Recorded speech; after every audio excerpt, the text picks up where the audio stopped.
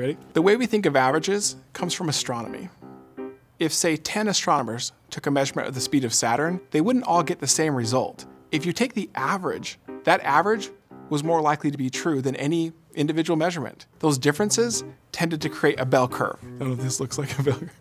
The big jump that we made is that we began to take that same idea and applied it to people. We had massive explosion of population and no one really knew how to make sense of the mess. It seemed to tame the messiness of being a human being. And while it may have been good for things like insurance and bureaucracies, it was never good when it came to individuals.